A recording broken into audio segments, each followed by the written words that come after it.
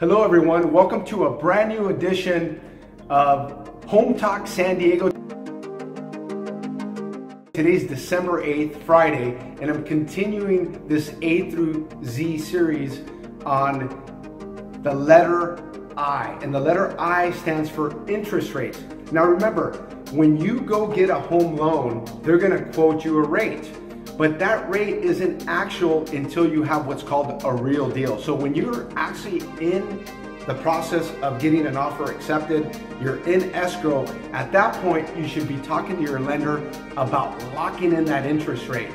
Um, if you have any questions about the process, again, A through Z, I will literally walk you through the whole entire process.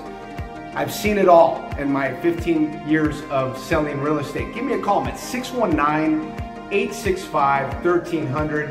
And more than ever, who you work with matters. Have a great day.